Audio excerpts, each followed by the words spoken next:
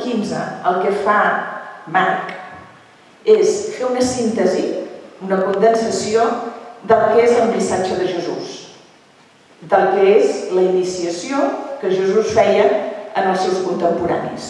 I posa tot el missatge en una frase, a Marc 1.15.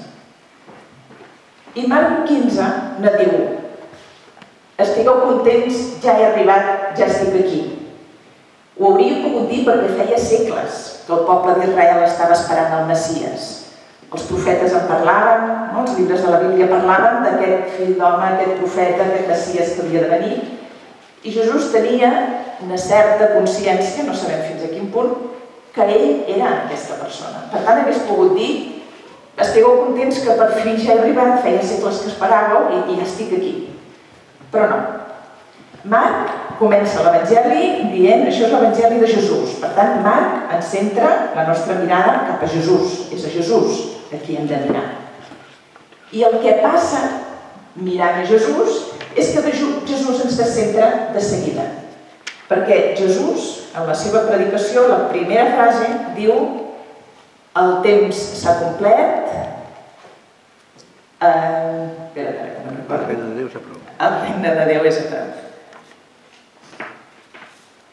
El temps s'ha complert, el regne de Déu és a prop, convertiu-vos i creieu en la bona nova. I això, bé? No servirà per gaire ningú més que per mi, oi, si ho escric aquí? El temps s'ha complert, el regne de Déu és a prop,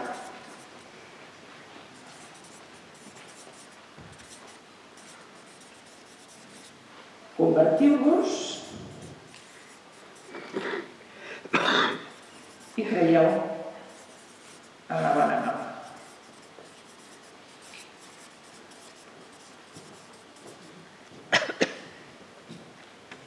Primer de tot, estem en el verset 15, hem fet servir pràcticament 15 frases, i hi ha aquesta expressió que ha sortit tres vegades. El verset primer és l'Evangeli Bona Nova de Jesús, en el verset 14, Evangeli de Déu, i Marc 1.15, creieu en la Bona Nova. Per tant, ens està dient Marc, estem parlant d'una bona notícia. Això és el més important. Jesús comença a predicar i té una bona notícia. Jesús té una bona notícia i té una certa urgència, té una passió, Jesús. I la passió de Jesús no és de parlar d'ell, sinó de parlar del regne de Déu. És la passió de Jesús. I quan Jesús parla del regne de Déu, els seus contemporanis l'entenen. Jesús és jueu, s'està adreçant a jueus, i quan Jesús parla del regne de Déu, a tothom li ve la imatge d'aquella promesa de Déu que està a la Bíblia, que la Bíblia il·lustra a vegades amb imatges de temps i a vegades amb imatges d'espai. La Bíblia diu que hi havia un temps a l'inici on hi havia el paradís, on Déu era evident, on les persones no sabien ni de vestir perquè hi havia la innocència, la confiança, un temps ideal que era en el, en el passat. També parla la Bíblia d'aquell temps on hi haurà un cel nou i una terra nova. Hi ha una promesa de Déu que sempre està present en la Bíblia, a vegades com a passat i a vegades com a futur. I també com a lloc, aquella terra promesa que fa sortir el seu poble de l'esclavatge d'Egipte i el fa anar cap al desert. Quan Jesús parla de regne de Déu, els seus contemporanis lliguen regne de Déu amb aquesta promesa, que la Bíblia anomena amb el nom de Shalom.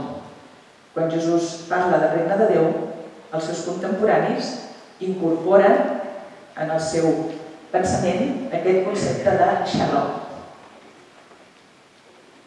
Quan parlem de Shalom, normalment ho traduïm per pau, i és així, és, és correcte, però també sabeu que Shalom vol dir més que pau. Shalom a la Bíblia designa tranquil·litat, designa salvació, designa benestar econòmic, també. Shalom també és, a més a més, salut i també és descendència. Per tant, shalom és un concepte més ampli del que normalment nosaltres entenem per pau. Jo crec que és el que nosaltres avui diem felicitat. Felicitat seria tenir una projecció en el temps, un benestar econòmic, salut, és el que normalment avui diríem el benestar, la felicitat.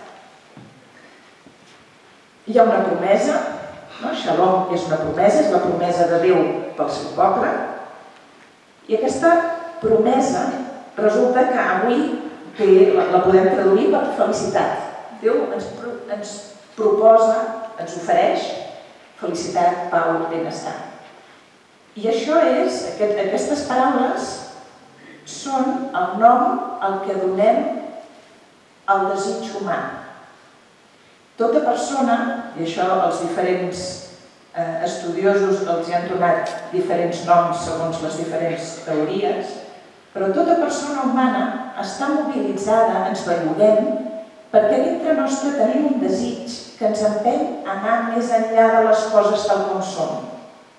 Hi ha un desig en tota persona que ens fa transcendir els límits en els quals ens trobem limitats en el, en el dia a dia. En aquest desig se li diu moltes moltes possibilitats, no pot tenir molts noms, però li podem dir aquest desig de felicitat, aquest desig de benestar, aquest desig de pau. Per tant, la promesa de Déu és que aquest desig personal, aquest desig íntim, el desig més profund de la persona humana, o sigui, la promesa de Déu respon a aquest desig personal. La qual cosa està dient que Déu respon allò que més profundament desitgem al nostre cor o sigui, està dient que Déu ens demana que ens prenguem seriosament a nosaltres mateixes. Perquè allò que més desitgem, el desig que batega en el cor de tota persona, allò és la promesa de Déu. O sigui, el meu desig coincideix amb el que Déu em vol donar. El meu desig com a batec que mobilitza i la proposta de Déu com a resultat, com a mm, com a do, resposta en aquest desig. Sí, jo, jo aniré seguint. Si en algun moment hi ha alguna cosa que no vaig, aixequeu la mà i, i, i canviem el que sigui. Eh? Estem que Jesús està predicant el regne de Déu, que és el xalom, que és aquest desig més íntim de la persona humana, i que Déu diu, el regne de Déu s'aprova. Mirant la Bíblia, resulta que aquest xalom, aquesta aquest desig més íntim de la persona humana, és també relació. El que diu la Bíblia, la teologia bíblica, la definició de, de Shalom, el que Israel entenia per Shalom, és la total harmonia entre l'ésser humà i la creació que penetrada per Déu permet el creixement lliure i sense obstacles de la persona humana una definició. Què diu aquesta definició? Que el xalom, aquest desig que ens habita a tothom, de fet és harmonia entre la creació, entre tota la creació, penetrada per la presència de Déu, o sigui, en relació amb Déu, un tipus de relació que permet el creixement lliure i sense obstacles de la persona humana. Estem dient, doncs, que aquest desig personal de cada persona, de fet, és relació.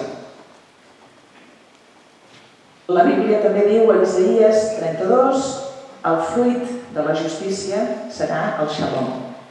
Hi ha un tipus de relació que permet el creixement lliure de tota persona que és el que possibilita el regne de Déu, el xalom. I aquest tipus de relació la Bíblia l'anomena justícia.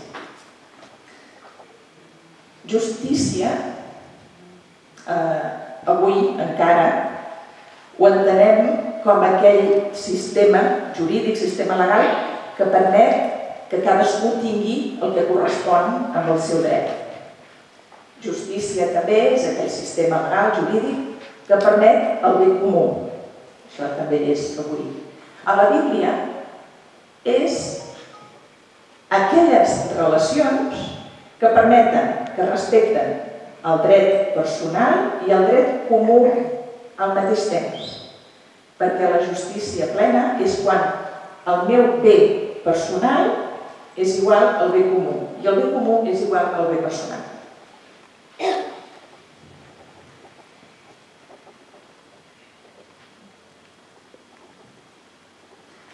Aquesta justícia, segons la Bíblia també, aquest tipus de relació, és un tipus de relació amb diferents pols a la vegada. En aquesta justícia, deia aquella definició de la teologia bíblica, és un tipus de relació de mi amb els altres. Aquesta és la justícia que coneixem més. És també justícia amb Déu i és també justícia amb la natura.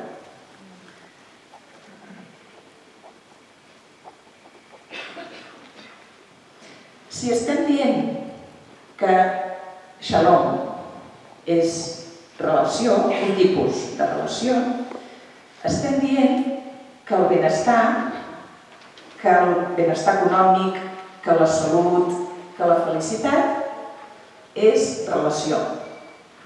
Per tant, estem dient, fins ara, que estem dient és que la felicitat, allò que jo més desitjo, sempre serà relació.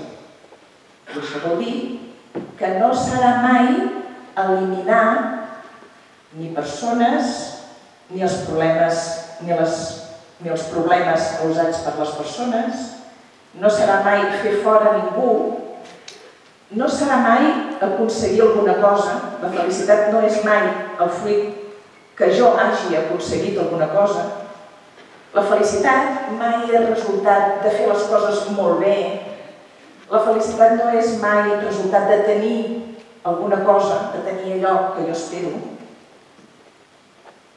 La felicitat sempre és estar en relació.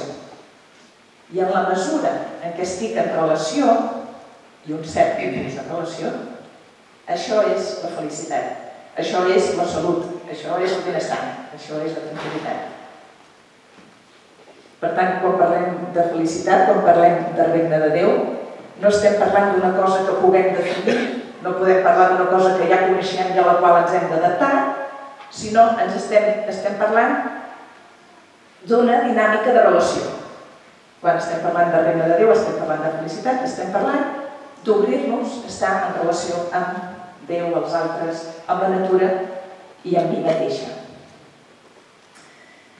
Quin és aquest tipus de relació que la Bíblia diu justícia? Jo ja sé que tot això que estic dient vosaltres ja ho sabeu, eh? però a vegades el fet de, de tornar-ho a dir et recorda alguna cosa. Aquesta justícia que, que la Bíblia proposa és un tipus de relació en la qual hi ha un element necessari, que és el de la gratuïtat. La gratuïtat com aquell element que et fa gaudir del que estàs fent pel mateix fet de fer-ho, sense esperar una retribució. Si no hi ha gratuïtat, fem les coses esperant una retribució, alguna cosa canvi, un resultat. Fins i tot un resultat evangèlic, fins i tot un resultat de, de, d'augmentar els, els membres de la meva comunitat. O, no?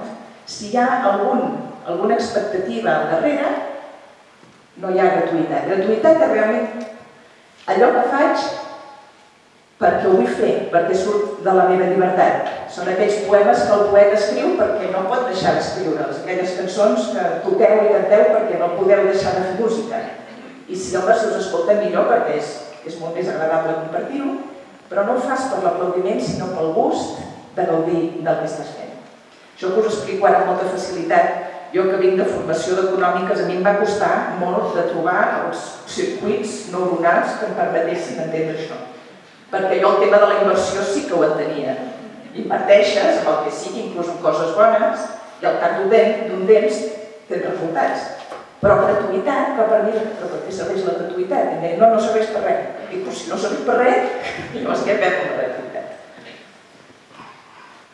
I en canvi, és un element essencial d'aquest tipus de relació que Déu ens proposa com a resposta el desig més profund de ser persona. Llavors, què pots fer, i això els personalistes a principis del segle XX en van parlar molt, què pots fer en una relació que no esperes, sempre esperem alguna cosa de l'altra, eh? però que no és un intercanvi. Què pots fer amb una altra persona si no és una relació d'intercanvi? Si jo vaig a comprar el pa, aquella persona se suposa que em donarà el pa a canvi del meu diner. Però si no espero res a canvi, si no és un intercanvi, què puc fer jo amb una altra persona? Doncs podem fer dues coses.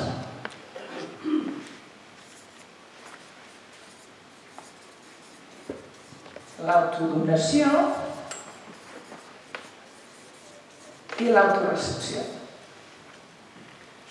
Les relacions de justícia, les relacions del regne de Déu, són unes relacions que es basen en l'autodonació i l'autorecepció. Què vull dir amb autodonació i autorecepció? Autors, autor, d'autors en grec, autors és el, el si mateix, el si mateix.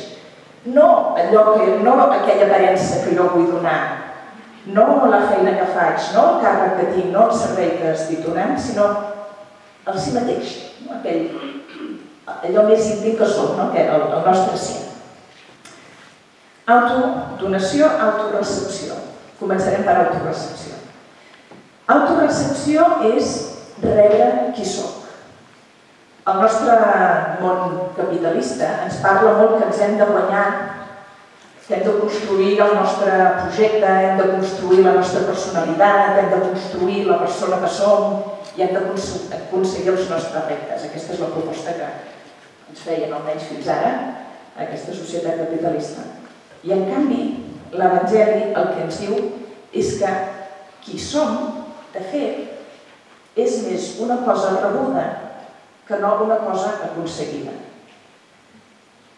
Això que som, llavors ho podem treballar, millorar i, i que, que floreixi i que sigui bo pels altres. Però qui som en realitat és més aviat una persona, un ser que rebem, que hem rebut. I la nostra principal tasca, de fet, és acceptar, aprendre a acceptar qui som, sense els pros, sense els condicionants, sense totes aquestes petits límits que ens posem a nosaltres.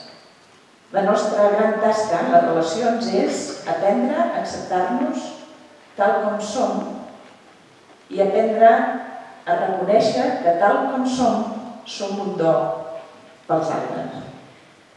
No tal com hauríem de ser, no tal com ens han dit que hauríem de ser, no com voldríem ser, no com en tots aquests eh, aquestes exigències que moltes vegades ens creiem, sinó realment tal com som.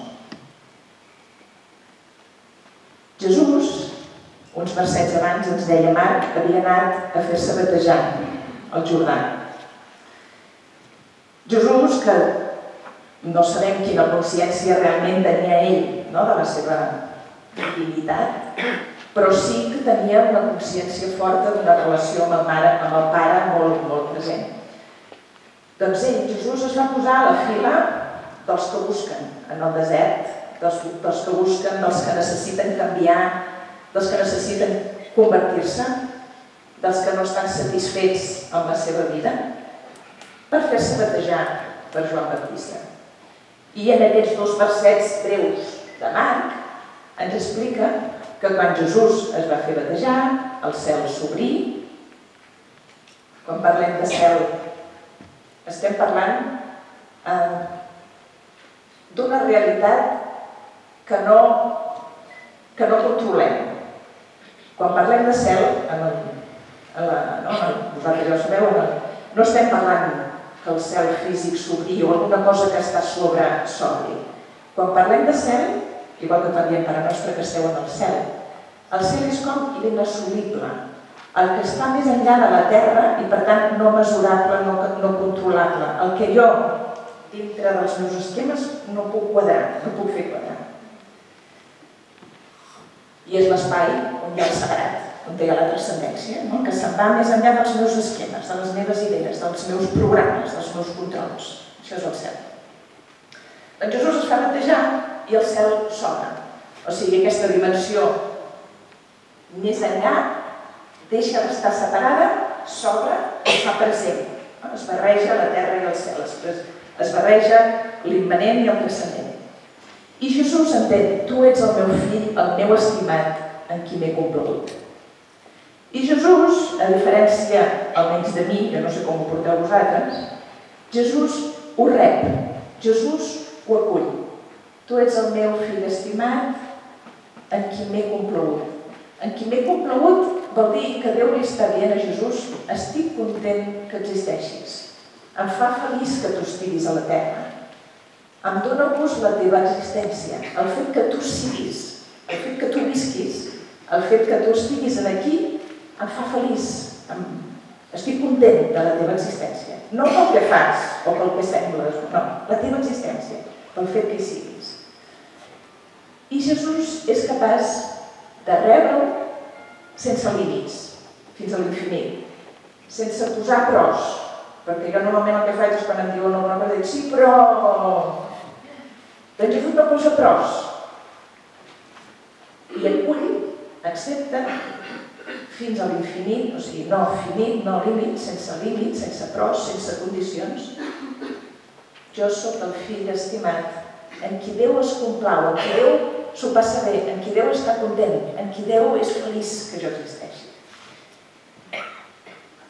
Com que és capaç de rebre's, de rebre el seu autors, de rebre's a ell mateix fins a l'infinit sense límit, després també, o d'abans o després és una mica relatiu perquè és, no, és un, tot, tota la vida és un procés que anem fent passos cap aquí, passos cap allà, també serà capaç de donar-se sense límits perquè estat capaç, capaç també de rebre's a si mateix qui ell és sense límits.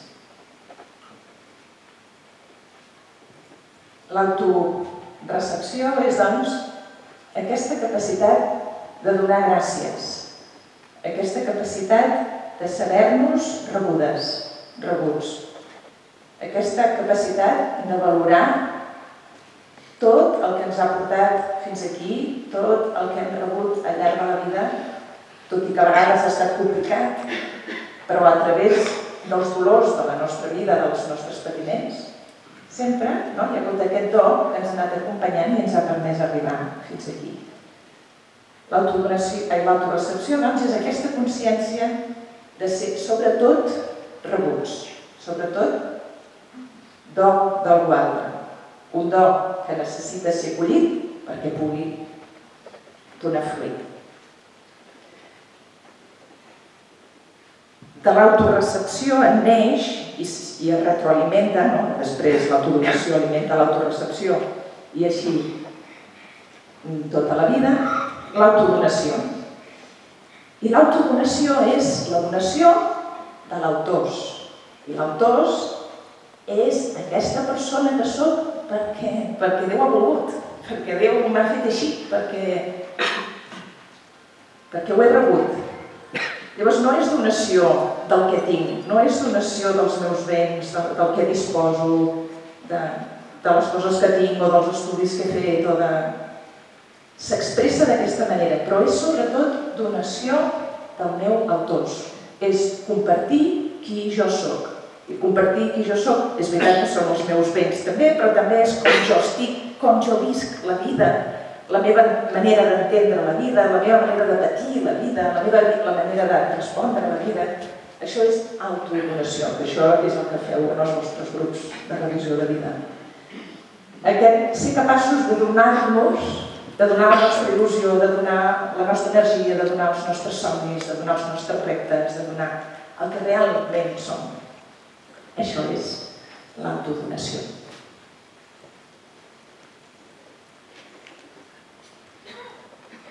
Doncs això diu...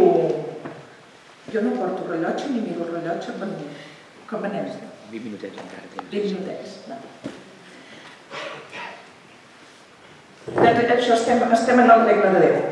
El temps s'ha complert, el regne de Déu és a prop. El regne de Déu és a prop, és doncs aquesta societat, aquest món on cadascú és fidel a si mateix, respecte al seu si mateix, es pren seriosament el seu si mateix, i això, un incís, eh, mm, això ho diu una senyora italiana, mm, el Gènesi diu que Déu ens va fer bons i bons de debò.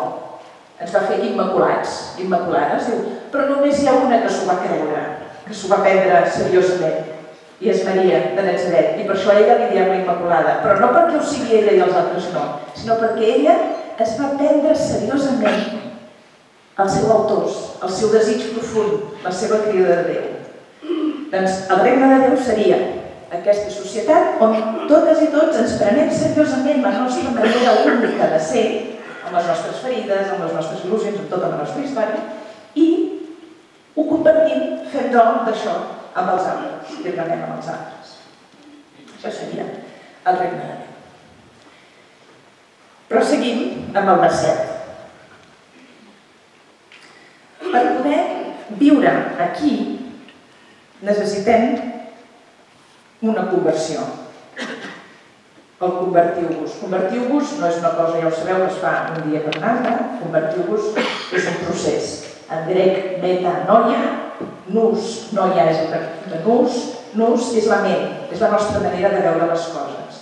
I meta és la partícula que ens diu anar més enllà. Per tant, quan parlem de conversió estem parlant d'anar més enllà de la meva manera de veure les coses. Ara, quan venia cap aquí, he llegit algun cartell que deia anar més enllà de la nostra zona de confort o sortir de la nostra zona còmoda. Conversió té a veure amb això, anar més enllà d'aquests límits, d'aquestes seguretats, d'aquestes definicions, d'aquests comportaments, d'aquestes respostes que conec, que, que, que, que tinc apamats, que ja, que ja sé quins són. Metanoia és anar més enllà de la meva lògica, de les d'allò que em permet de les causes i efectes, dels meus judicis. És ser capaç d'entrar en aquesta lògica de Déu que plou sobre bons i dolents, que resulta que justifica un pecador i el que ho feia bé resulta que ara surt al revés. És entrar en aquesta lògica del pare bo, és anar més enllà d'aquest bé i malament que tenim integrat a dintre i que moltes vegades ens serveix per dir aquest sí, aquest no, aquests a dintre, aquests a fora. Convertir-nos és anar més enllà del nostre terra, abans una imatge de cel i terra. El cel és allò que no controlem, no? que va més enllà de, del meu cabet.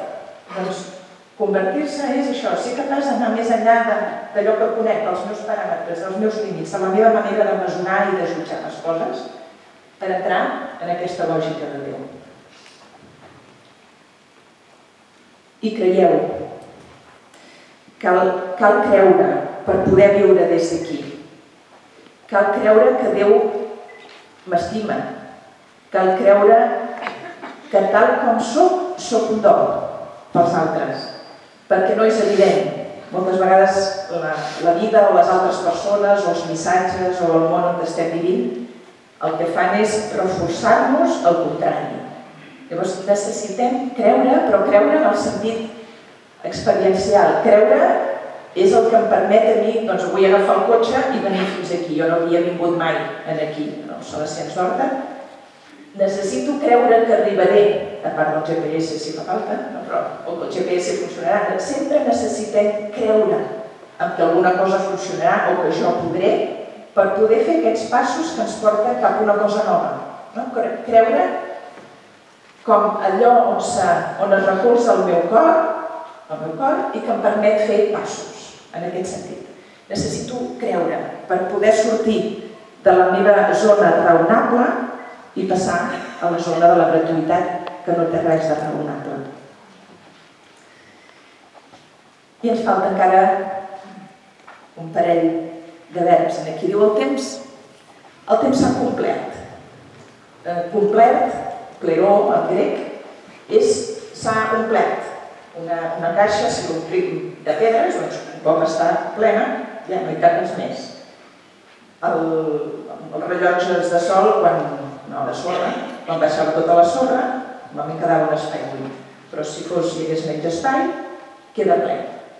El temps s'ha complert. S'ha complert vol dir que aquell eh, temps cronològic d'espais que van succeir un darrere l'altre, està ple. Per tant, ja no hi ha més. El temps s'ha complert, vol dir que ja s'ha acabat. que allò que esperàvem que passés, allò que havia de venir, allò que estava en un temps futur, ja, ja, ja està ple. El temps, el temps entès com a cronos, està ple. Si el temps està ple, entrem en el kairos. Aquest kairos, que és un temps sense cronos, sense rellotges, sense temps. El temps s'ha complert, està dient, aquest missatge que sentim tantes vegades, és ara. No quan s'acabi, no quan acabi la xerrada, quan acabeu avui el dia, el temps s'ha complert, vol dir ja. Per mi i per molta gent és molt important aquesta conversió al present, perquè és en el present que trobem la realitat. És en el present on em trobo amb la veïna, és en el present on em trobo amb la meva germana de comunitat. Si no, me'n vaig a la meva programació, a la meva feina, amb les tasques que haig de fer i aquí no em trobo ningú. La conversió al present és el que em permet convertir-me a Déu, perquè Déu està en el present. La realitat sempre és millor que les idees. I el que Jesús està dient és el temps complet, un toc d'alerta, fa, fa bastants anys, fa milers d'anys que us ho ha dit Jesús el temps s'ha complert. És ja, és ja, en aquest moment. Necessitem convertir-nos a cada moment, perquè no hi ha un altre moment on jo pugui estimar. No hi ha un altre moment on jo pugui sentir estimada. No hi ha un altre moment on jo pugui canviar el món. No hi ha un altre moment que jo pugui solucionar o, o guarir alguna ferida, si no és ara, amb el que em trobi. En aquest ara que jo no controlo, en aquest ara que, que sempre és diferent, o normalment és diferent del que jo m'havia pensat. En l'ara, tal com és. El temps s'ha complert, ens recorda aquesta urgència a viure concretament la realitat que ens toca viure i tal com ens ve donada en cada moment. Però no perquè no hi hagi res més. No és el carpe diem el que Jesús ens està dient. No ens diu viviu el present i cremeu les naus perquè no hi ha res més. El que ens està dient Jesús és que el regne de Déu és a prop. A prop, en grec, el verb que hi ha al darrere és enguiquen. I enguiquen és el regne de Déu s'apropa. Llavors diu Jesús, i viu el present, aquest moment, perquè en el present el regne de Déu s'apropa. I què vol dir això? Vol dir que cada moment està prenyat, està ple del futur de Déu.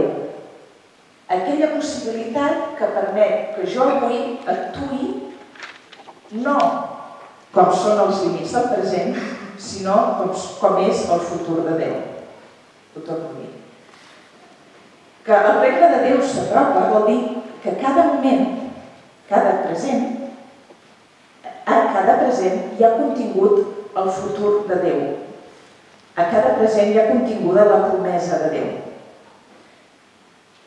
Quan parlo de futur de Déu, faig servir el futur que feia servir Ernst Bloch i que després va utilitzar Mormon, i la Curia també ho va fer servir. El futur de Déu, el futur, aquests filòsofs no el fan servir com a un temps que vindrà després, sinó aquella possibilitat que tenim ara i que permet la meva acció transformadora. Per què diu futur? Perquè si jo no l'encarno, si jo no ho realitzo, si jo no trio el futur, no esdevé realitat, esdevé possibilitat. El futur de Déu és aquesta possibilitat que Déu ens ofereix a cada moment de viure des d'aquí, des de la llibertat i des de l'amor.